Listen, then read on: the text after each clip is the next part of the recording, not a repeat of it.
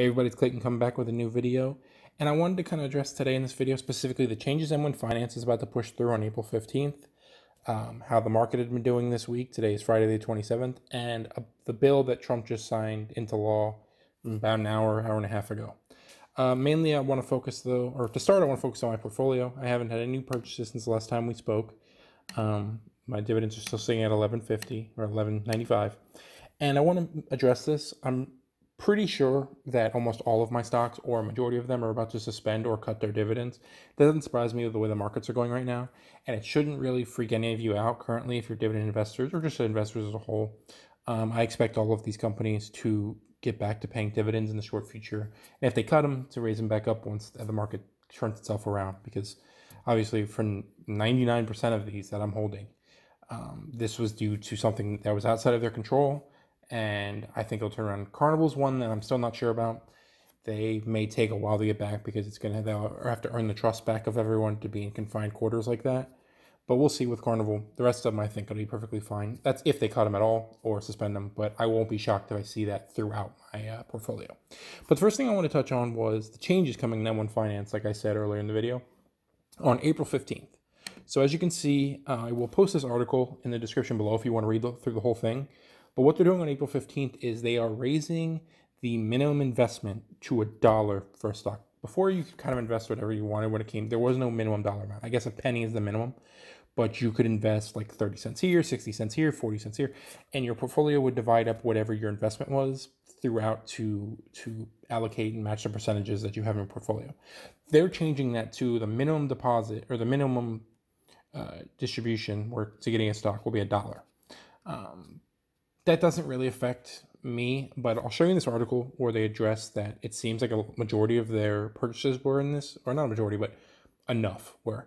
And then also they're changing the auto invest feature from $10 to $25. So this amount up in the top right corner where it says cash, before when it was getting to $10, it would auto invest into your account, into your stocks that you currently hold, to obviously the allocations depending on what the percentages are.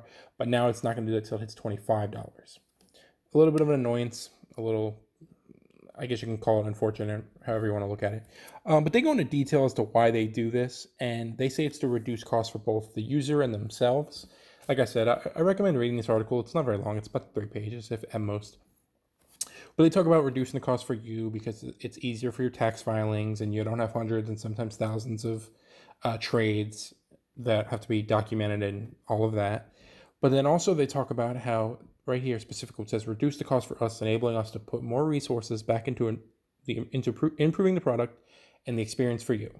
And they say sub one dollar trades make up 25% of the total trade volume, which only accounts for 0.05% of all dollars transacted. So a fourth of their trades are under a dollar. So on paper, it seems like they're losing a lot of 25% of what is done on their website is changing. But I think the reason this is being done realistically is if you've paid attention to the markets and the news, you've seen M1 hasn't really experienced it. They've kind of had delayed um, purchasing. So usually the purchase window is between like 10 and 11. It was carrying its way out to like 11, 30, 12, and sometimes like 1 o'clock because of how busy it was during this whole market fluctuation. But we saw other services like Robinhood essentially just completely freeze up and fail. Um, and I think for M1, the reason they're doing this, this is just an assumption, is it will eliminate some of the capacity. Uh, as you can see here, it's the greater, better platform. The less than $1 can put an unnecessary strain on the system with such a low percent of transaction dollars. And to me, when I read that, that says that a lot of the slowdown that was going on during when the markets were falling or raising in the last few weeks um, was because so many purchases were coming in that were for under a dollar.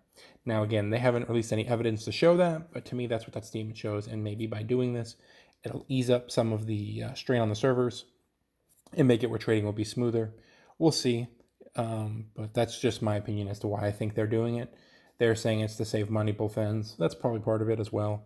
Um, but I think it also has to do with so the site can run smoothly and not slow down as it was. So that's the change for me, it's unfortunate because if I feel like it puts a cap on people that are able to invest. I know it sounds weird to just say, "Ooh, one dollar." That's not putting a cap or twenty-five dollars, but there's some people that don't have a lot of money to invest. I myself don't have a lot of money. I know to some people what I've invested is a lot of money. And then some people, what I've invested is literally a, a one week deposit for them or even a quarter of what they deposit or each week to put into the market. So everybody's amount of money differs. But putting a cap of $1, I think, just kind of shrinks their um, user base, maybe by a little bit. But as you see when they said, 25% of their total trades accounted for sub $1 trades. So obviously they've got users in their market. And I know obviously this is auto investing, so there's people that don't have that. Um, but we'll see. We'll see what it does with the website. And I'm just curious to see how it goes because I hope it doesn't alienate users that were using this that don't have a lot in their uh, balance currently. Now with the Dow, on Monday, as we talked about, we were at 19,000 and we finished the week at 21,636 because because as of yesterday, it went up, it had gone up 17% since Monday. Sorry, let me go back there. Yeah, about 17% since Monday. Fell again today, um, about 900 points. Still sitting at a 13% gain, which is great growth. Um, unfortunately, we don't really know what's going on with the markets now. No one can really predict it. And and the weird thing was that there's a jobless claim uh, yesterday. Yeah, yesterday that hit that showed 3.3 million people um, are jobless currently or have filed basically first time applications for unemployment. And I think the reason the market didn't really get hit by that because you'll see yesterday when this news broke it where's the starting of Thursday. We started off Thursday right here at 21. We finished up almost 1400 points. The market usually predicts what not predicts, that's not the right word, but is slated to absorb this. And everybody knew this was coming down the pike. They just didn't know how much or how large the number would be. So that's why I think the market rose with this because people were expecting it. Some people may have thought this was lower than what they expected. I didn't get to really see the average beforehand, or I would kind of weigh in on that.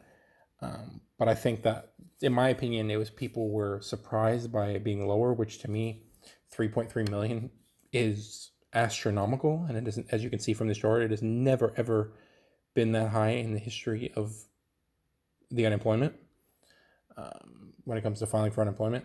So we'll see. Um, I'm curious to see how the market does next week. And obviously, it finished the week off going down almost a thousand points, over four percent. But again, we'll see what happens. Now, the other thing I really want to focus on this video, and I've talked about this now for I think two or three videos, was the financial package that was being put together that wound up being two trillion dollars that got passed today. President Trump just signed it about an hour and a half ago, maybe an hour ago. Um, and I found a video that addresses kind of what it is and what you can expect.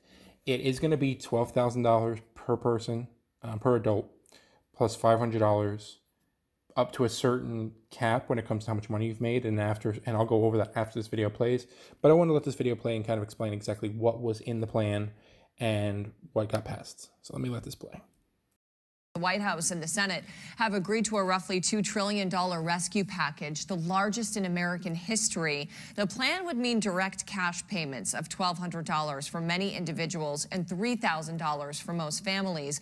A vote in the Senate is expected today, and as Nancy Cordes explains, it's expected to pass with overwhelming support. The Senate has reached a bipartisan agreement on a historic relief package for this pandemic. It was the early morning announcement the entire economy had been waiting for. To all Americans, I say help is on the way, big help, and quick help. The massive bill is designed to bring relief to workers and businesses, hospitals and state governments, and those who have already lost their jobs, boosting unemployment insurance by $600 a week through July. Before the video continues, yeah, this was part of the plan, and again, they're going to keep explaining it.